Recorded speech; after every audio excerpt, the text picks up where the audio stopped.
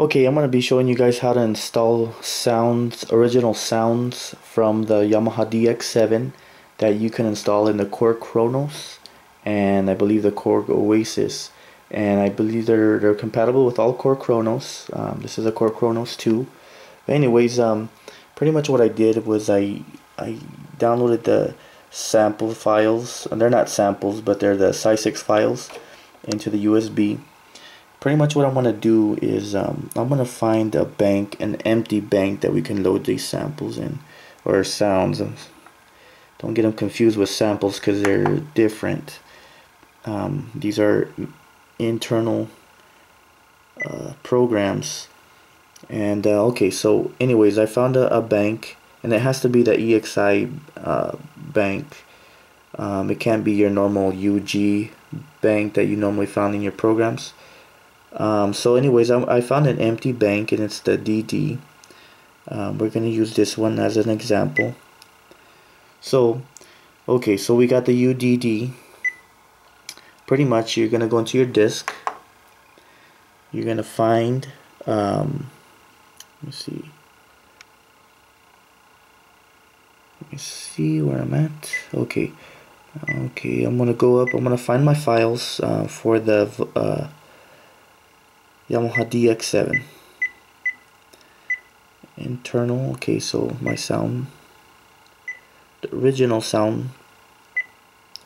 Okay so here are all the ROMs um, for the Yamaha DX7 and as you notice they have uh, 1A 1B 2A on the Yamaha DX7s they had 32 sounds per bank. So that means you're gonna have you're gonna be able to load four uh, Yamaha DX7 banks into one Korg Kronos bank or Korg Oasys bank.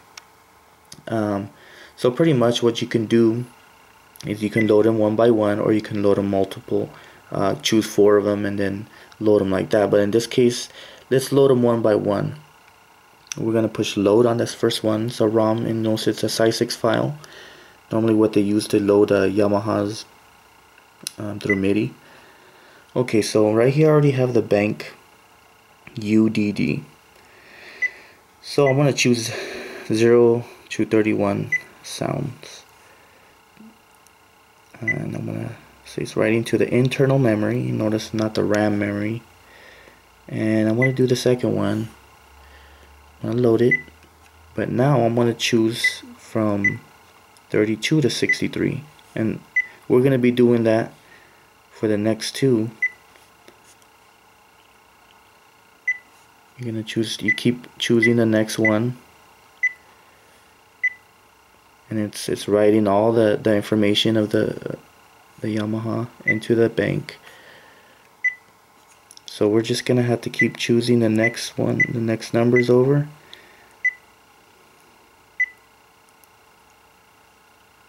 Okay and then once that's done you're gonna go into your program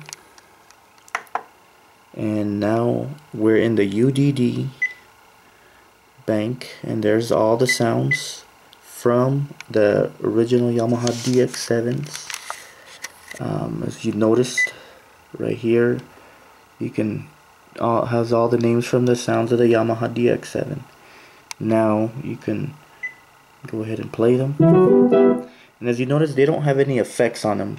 So you're gonna get you know the sounds but it doesn't have no effects so you might have to tweak it a little bit you know just to get that that nice sound that you would get from the original one. You know and it just has a bunch a bunch of sounds from the the keyboard.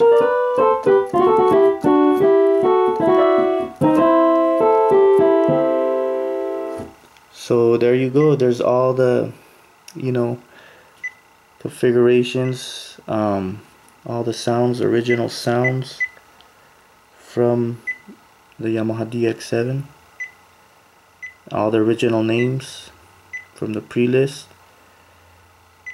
and um, and then we you can continue and and you can um, load the rest of the remaining banks in there. So if you go here and you're gonna see you still have four, but those ones you're gonna have to install in another bank and that's pretty much it. That's how you use the install Yamaha DX7 you can have it installed in your keyboard Korg Kronos and um, start using them and you can start separating the sound into another bank to choose whatever you want.